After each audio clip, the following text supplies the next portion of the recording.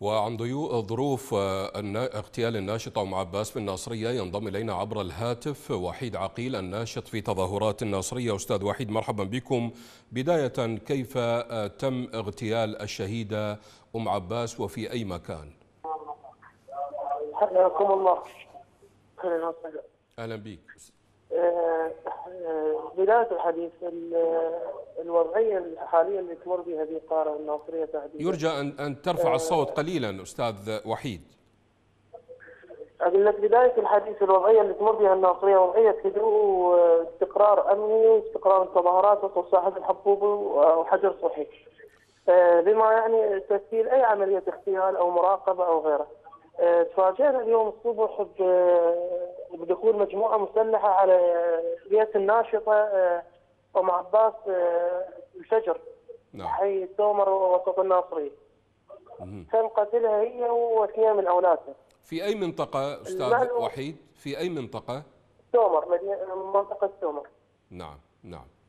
وسط الناصرية. هل اتضحت الأمور لديكم؟ آه، من هي الجهة المتهمة بعملية الاغتيال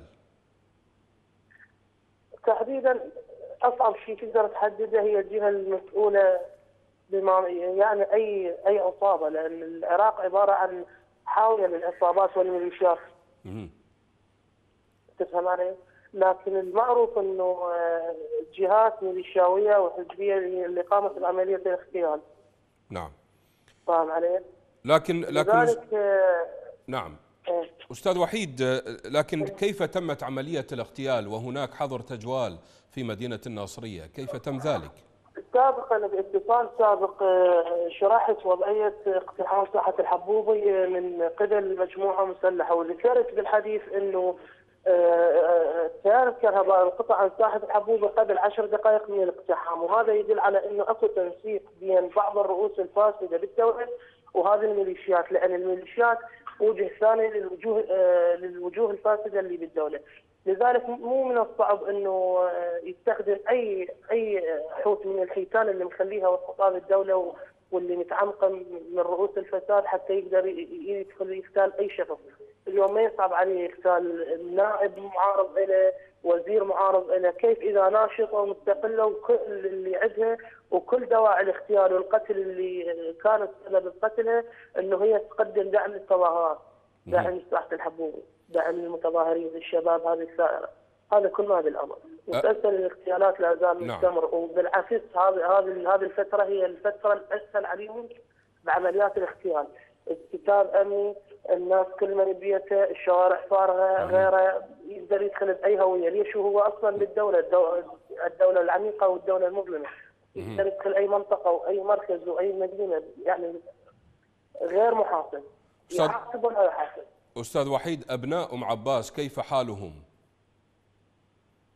والله التفاصيل تتكتم عليها حاليا الجهات الأمنية. يعني أي تفاصيل ماكو ممنوع. لا لا, لا الإعلامي ولا الناشط ولا لاي شخص.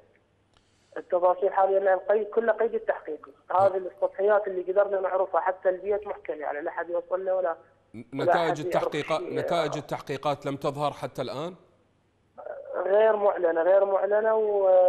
وأي معلومات ما تطلع لأن حاليا مثل ما تعرف قانونيا قيد التحقيق ماكو أي شيء نعم.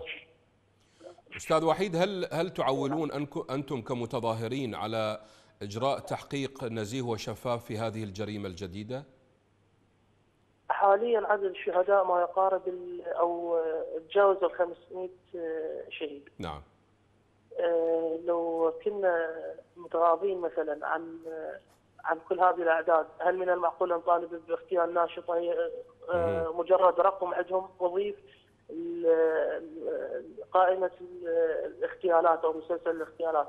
هذا من الصعب مثل ما يقولون إحنا ميتين يعني مجرد رقم نضاف عندهم لا أكثر. أما الجهات الأمنية هي جاي تسوي اللي عليها نعم. اللي بيها جاي تسوي ما تقدر. لكن الجهات الأمنية مقادة من رؤوس فساد هي تنتمي لهذه الميليشيا. نعم. الأستاذ وحيد عقيل الناشط في تظاهرات الناصرية شكرا جزيلا لكم على هذه المعلومات.